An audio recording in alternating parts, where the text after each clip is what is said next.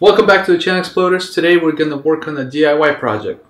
I'm on a constant hunt for the perfect face protection, something that's comfortable, low profile, breathable, easy to aim down sights.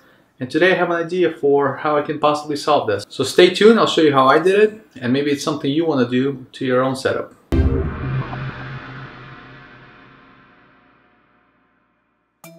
Alright, so face protection, why am I so obsessed with it? Well, it's the most, I would say, uncomfortable part of airsoft because everything else we're using is designed by professionals. The goggles, the helmets, all that stuff is designed to be comfortable and functional. Where face protection is for the most part kind of amateur. Somebody designed something, tested it for five minutes, and off we go. There's tons of solutions out there and many of you have found the one that's perfect for you. For me, I'm still searching. I've tried everything. The Steel Face Pro, the half cloth, half steel.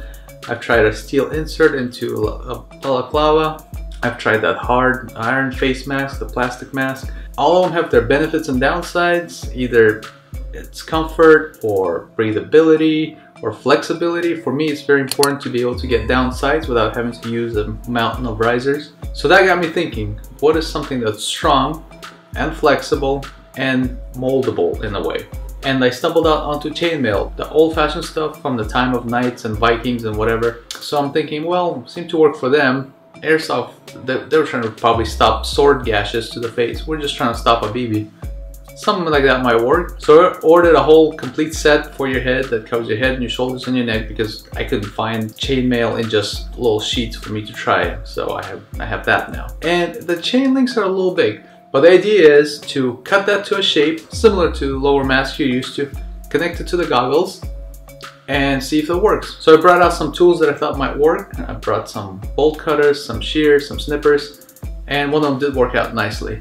Next thing was to figure out the shape. So what I did was dress up a styrofoam mannequin head that I used for taking pictures of helmets, uh, put on the goggles I'm planning on using, laid it out basically how I wanted, then I grabbed my Sharpie and marked out where I thought I would need to make the cut to fit under the goggles and to cover most of my face. Now this is a little tricky because the chainmail links move around, so when you go to take it off, lay it out, some of them might rotate, but you still get the general gist of where the silver lines are and you kind of loosely follow them. It's not a perfect science by any stretch of the imagination, but I think it worked out pretty well. So then I got the snipper and just started cutting, constantly laying it out flat to make sure it looks symmetrical. And it seems to be following the silver lines that I can see and kind of average out where they should be. So that took a little bit of time, not too bad, pretty easy cuts.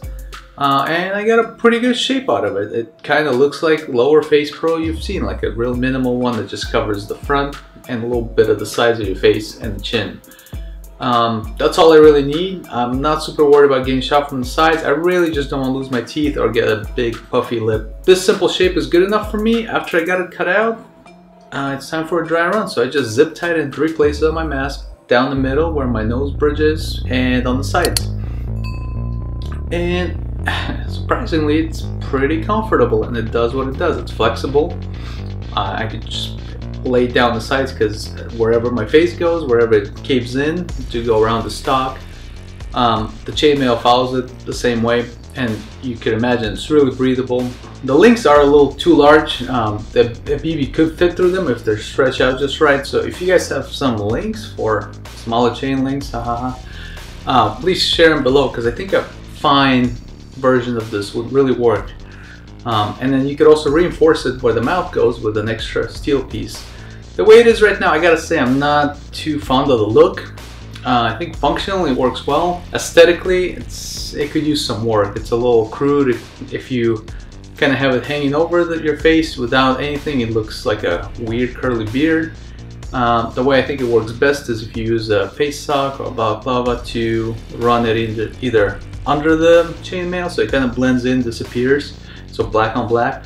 Or you could even tuck it inside and put that over your face, but then the nose kind of sticks out. Um, it, it could use some work. A finer mesh would be better, it'd probably be easier to cut and it would flow even better across your face, even more comfortable. So please share those links if you know them. But I think it's a good start and might revise it some more. I actually have some ideas for a custom face mask I might make. Um, whole another dimension here, but that more on that later. So, what do you guys think? Is it a terrible idea? You think BBs are gonna fly right through there and destroy your teeth? You think it's better than nothing? Uh, where do you stand personally on face protection? Do you do you wear face protection? Do you wear a lower, or are you one of those guys that thinks you should risk your teeth because they'll make you more careful and more calculated in the field because so much is on the line?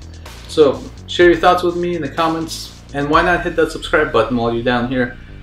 There's always creative content coming out here, new stuff you've never seen anywhere before, and don't forget the POV gameplay. So sub, like, and I got some more coming up in the future. Thanks for watching.